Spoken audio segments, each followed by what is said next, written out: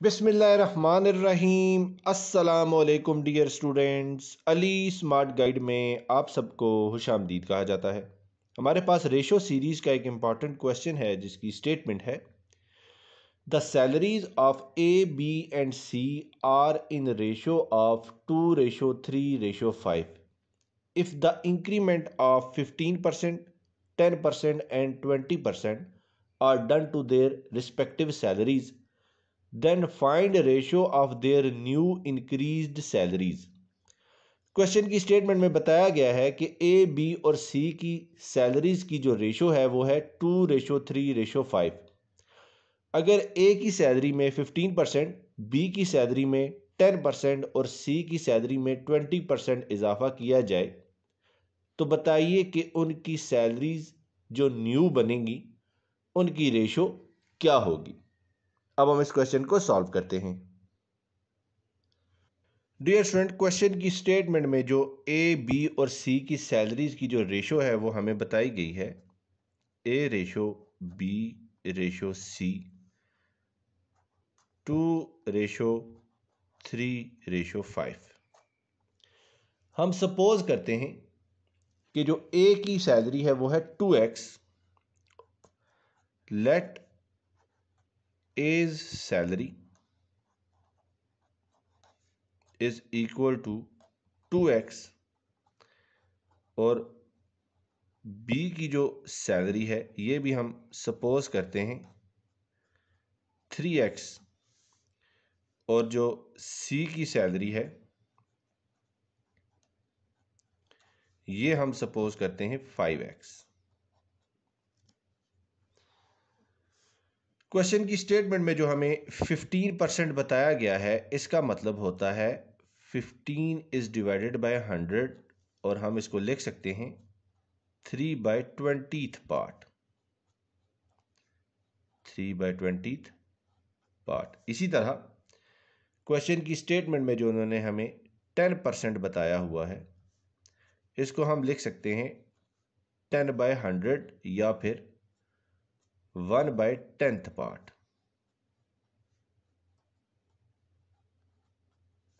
और क्वेश्चन की स्टेटमेंट में जो हमें ट्वेंटी परसेंट बताया गया है, इसका मतलब है वन बाय फिफ्थ पार्ट। अब ए की सैलरी में जो फिफ्टीन परसेंट इजाफा किया गया है, अब हम वो कैलकुलेट करते हैं। So fifteen percent of A's salary या दूसरे अल्फाज में एज इंक्रीमेंट ये होगा three by twentieth part of two X और हम इसको लिख सकते हैं three by 20 is multiplied by 2x. So 2 ones are 2 and 2 tens are 20 और ये हमें हासिल होगा 3x by 10. So so, increment लगने के बाद जो ए की सैलरी होगी वो होगी एज न्यू सैलरी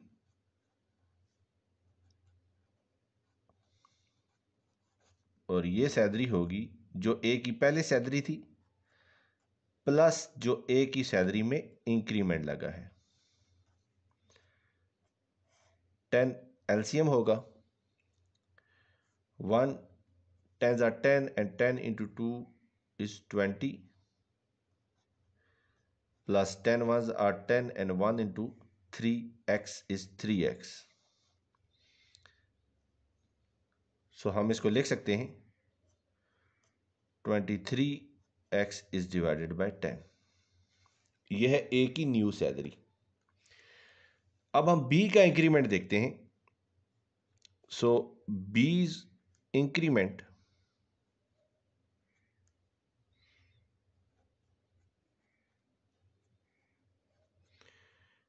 बी की इंक्रीमेंट है ten percent so one by ten is multiplied by B की सैलरी थी. थ्री एक्स तो ये हो जाएगा three X is divided by ten. इस तरह बी की जो नई सैलरी होगी, वो होगी बीज न्यू सैलरी जो बी की मौजूदा सैलरी है थ्री एक्स प्लस जो बी की सैलरी में इंक्रीमेंट लगा। और वो इंक्रीमेंट है three X is divided by ten तो ये हमें हासिल होगा thirty three X is divided by ten के। अब सी की सैलरी में जो इंक्रीमेंट लगा सीज इंक्रीमेंट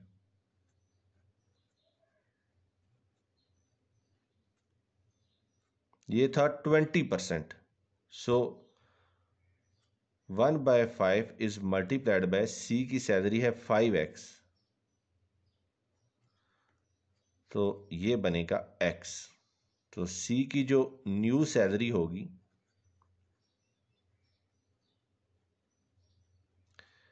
वो होगी five X plus X is equal to six X. So increment लगने के बाद जो इनकी न्यू सैलरीज की रेशो होगी, वो होगी ratio of new salaries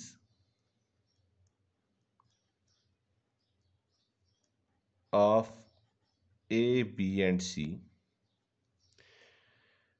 ये होगी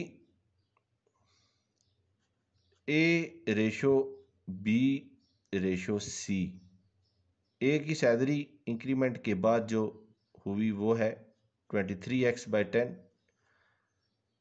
B की सैलरी जो इंक्रीमेंट लगने के बाद हुई, वो है thirty three X by ten और सी की सैलरी जो इंक्रीमेंट लगने के बाद हुई, वो है सिक्स एक्स अब हम इन तीनों वैल्यूज़ को टेन बाई एक्स से मल्टीप्लाई करते हैं.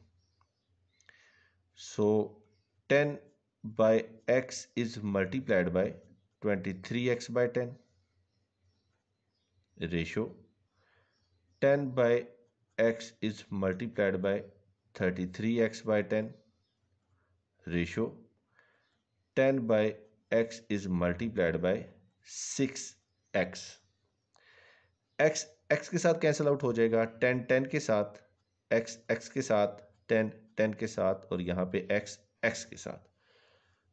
तो हमें सिंप्लीफिकेशन के बाद जो A ratio B ratio C हासिल होगा, वो होगा twenty three ratio thirty three ratio ten six are sixty और क्वेश्चन की स्टेटमेंट में उन्होंने हमसे यही वैल्यू कैलकुलेट करने का कहा था। डियर स्टूडेंट्स दुआ में याद रखिएगा। अल्लाह हाफिज़। अस्सलाम वालेकुम